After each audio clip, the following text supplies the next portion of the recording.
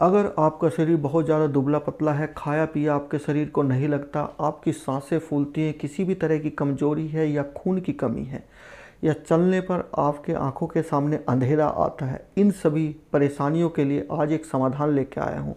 अगर आप चैनल पर पहली बार आए हैं तो चैनल को सब्सक्राइब कीजिए, घंटे के बटन का ज़रूर दबाइए, जिससे मेरा नोटिफिकेशन आपको बार बार मिलता रहिए।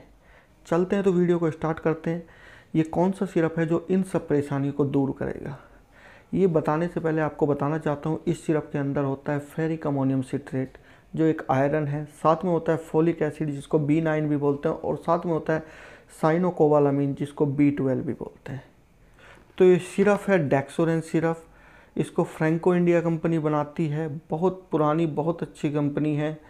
और साथ में इसको 200 ml की कीमत होती है वन फिफ्टी नाइन रुपीज़ अगर बात करें इसके बोतल की तो इस तरह की ये कांच की बोतल में अवेलेबल होता है, जिससे कांच की बोतल की वजह से इसकी क्वालिटी भी मेंटेन रहती है हमेशा।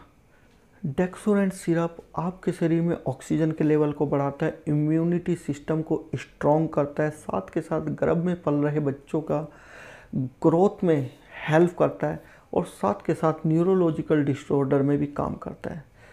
और सबसे ज़्यादा ये काम करता है किसी भी तरह का आपके अंदर खून की कमी हो, चाहे वो ऑपरेशन के बाद खून की कमी आए हो या महिलाओं में पीरियड्स के बाद खून की कमी आए हो या आपको भूख नहीं लगती हो या आपका वज़न नहीं बढ़ता हो, इन सब तरह के या किसी भी तरह के एनीमिया की दिक्कत हो, खून की कमी हो तो उस सब प्रॉब्लम में डेक्सोरेन सिरप काम आता है।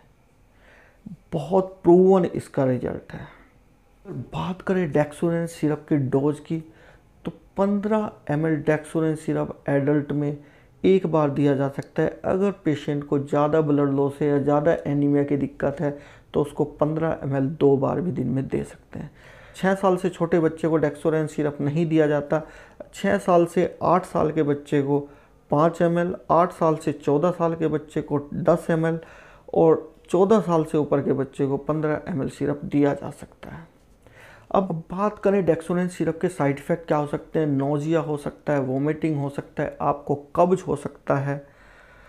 साथ के साथ किसी किसी पेशेंट को ज़्यादा नींद आ सकती है क्योंकि इसके अंदर अल्कोहल बेस होता है 95 परसेंट इसमें अल्कोहल होता है।